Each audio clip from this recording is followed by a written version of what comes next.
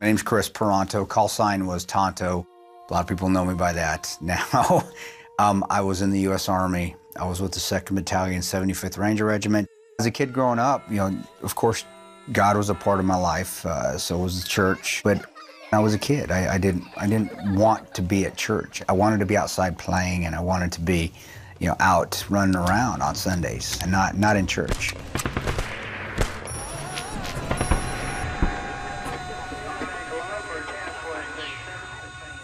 The guys that do that, we're adrenaline junkies. We like it. We like that feeling of always being up here. That's that, that sixth sense. It makes the world so much more beautiful when your adrenaline's always up here. Doing these deployments or, and going overseas and getting these firefights uh, or just normal operations, crisis situations, we realize that there's life-death situations. Get to Benghazi, a lot more dangerous. We were contracted directly for the CIA. The Constance had been attacked twice prior.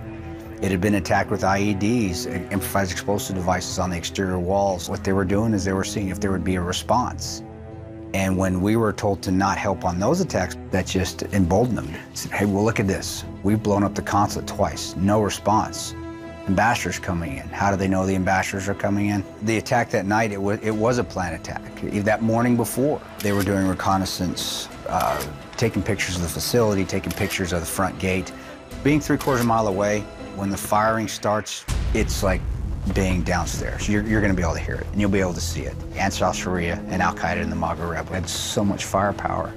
They could have initially just come in and just destroyed everything. Five minutes in, we were told to wait. Ten minutes in, that's where we were told to stand down by our chief of base. Imagine it's your friend or your family member, somebody that you swore that you would always go help, and they're on the radio. GRS, where are you? GRS, you, you swore you'd get here. GRS, we're under heavy fire. GRS, the consulate's been overrun. We need you here now this stress that we're going through going, God, we got to get over there. When we heard on the radio from Alec Henderson, and he said, if you don't get here, we're all going to die.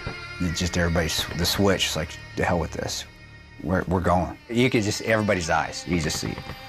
Done. We're done listening. Get in the car. Let's go. And that was it. They're coming at us with small arms and RPGs, and we could fight that all night until we ran out of ammo but they were going to figure it out and come out with something bigger, like a technical, which is a truck with a heavy machine gun in the back, or mortars or rockets or something. At the consulate, we got attacked the second time, and I remember bullets flying. Yeah, and when bullets go by you, they snap, they crack, because it's a high velocity round and it goes by your head and it snaps, breaks the sound barrier.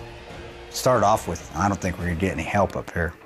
Nah, Spectre's not coming. No air support's not coming. Nobody's coming. When you do feel that down, you, you gotta have faith in God. And you gotta you gotta have faith in in the Lord. That if I die on this battlefield today, may I die at peace with you. I remember I just took a knee and I started shooting back and I was out in the open, no cover. I feel safe when bullets start flying. And I said, as long as I'm doing the right thing, God will take care of me. And I knew God had me. You know, you feel it. And you feel that there, it does. It feels like a cocoon, a warm bubble that's around you. You're, you're safe. You're good. Nothing's going to touch you. I've felt it where he's not been there. Doesn't matter. You just keep going. It's not that he's not there and he's not always watching. It's just sometimes you feel like there's that extra protection and it's not my time to die right now. And that's how I felt.